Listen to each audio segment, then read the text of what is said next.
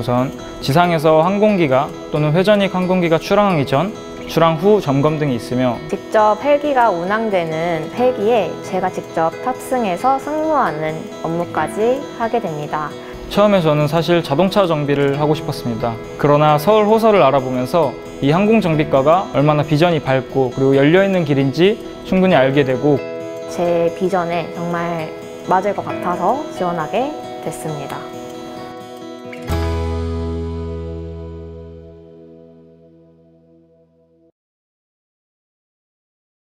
기왕에 이제 뭐 엔진 기왕에?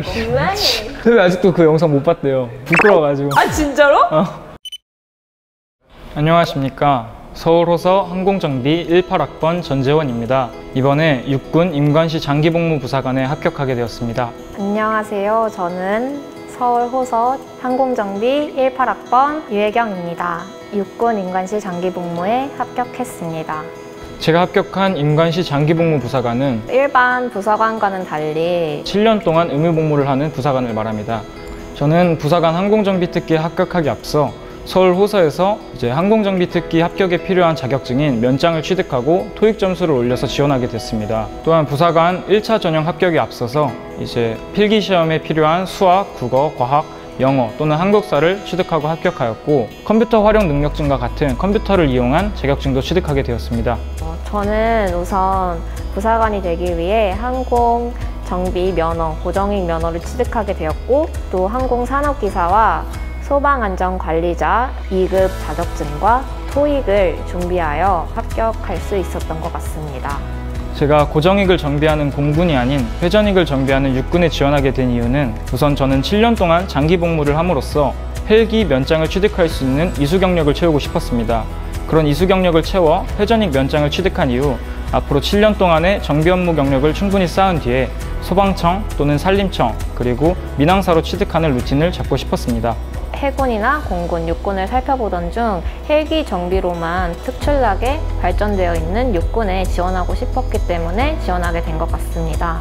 우선 지상에서 항공기가 또는 회전익 항공기가 출항하기 전, 출항 후 점검 등이 있으며 탑승 업무를 진행하게 되어 직접 헬기가 운항되는 헬기에 제가 직접 탑승해서 승무하는 업무까지 하게 됩니다. 처음에 저는 사실 자동차 정비를 하고 싶었습니다. 그러나 서울 호서를 알아보면서 항공정비과가 있다는 것을 알게 되고 또 취업이 잘 된다는 그런 이야기를 듣고 교수님과 얘기를 하면서 이 항공정비과가 얼마나 비전이 밝고 그리고 열려있는 길인지 충분히 알게 되고 그래서 저는 최종적으로 항공정비과에 지원하게 되었습니다. 어, 사실 육군 부사관에 대해서 찾아보던 중에 항공정비 병과라는 게 메리트가 있었다고 생각이 들었고 지금은 코로나라 조금 주춤하지만 그 당시에는 어, 굉장히 미래도 밝고 제 비전에 정말 맞을 것 같아서 지원하게 됐습니다. 우선 처음에 면접을 하러 서울 호서에 도착했을 때 실습실을 보고 굉장히 놀랐습니다. 항공기 에어 시뮬레이터나 혹은 여러 가지 성형 엔진, 제트 엔진, 최신식으로 구비되어 있는 정비 기구들 또는 정비 도구들을 보며 아, 이 학교에서 실습을 하면은 굉장히 쉽게 빠르게 익힐 수 있겠다라 생각하였고 교수님과 하는 면접 과정에서 교수님이 정말 친자식처럼 항공기 정비 업무에 있어서 알아야 될 사항들을 면접인데도 불구하고 친절히 알려주시는 모습에 아, 이 학교에서 공부하고 싶다라고 생각하게 되었습니다. 제가 여러 학교를 둘러봤지만 저희 학교 실습장을 봤을 때 쾌적하고 또 넓기도 넓고 또한 많은 엔진을 보유하고 있었기에 저는 서울호서가 가장 제 꿈을 설정할 수 있겠다라는 확신이 들어서 지원하게 됐습니다.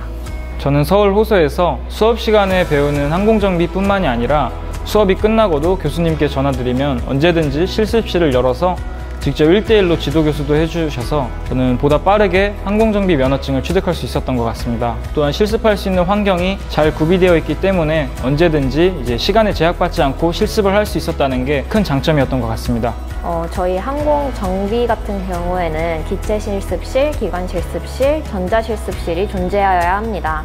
어, 한 건물에 이 실습실이 있기가 쉽진 않은데 한 건물에 어, 이 실습실이 모두 존재하고 있, 있기 때문에 지금 현재 어, 시험장으로도 사용이 되어서 그게 가장 저희 학교의 장점이라고 생각합니다. 저는 앞으로는 육군 항공정비에서 제가 필요한 정비 업무 경력을 충분히 쌓은 뒤에 항공준사관 혹은 산림청이나 소방청, 민항사에서 제가 익힌 기술들로 조금 더 넓은 길을 만들고 싶은 게 저의 목표입니다. 제 최종 목표는 임관 후에 제가 정비 업무 경력을 쌓아가면서 항공 정비 준사관이 되고 싶은 게 제 최종 목표입니다.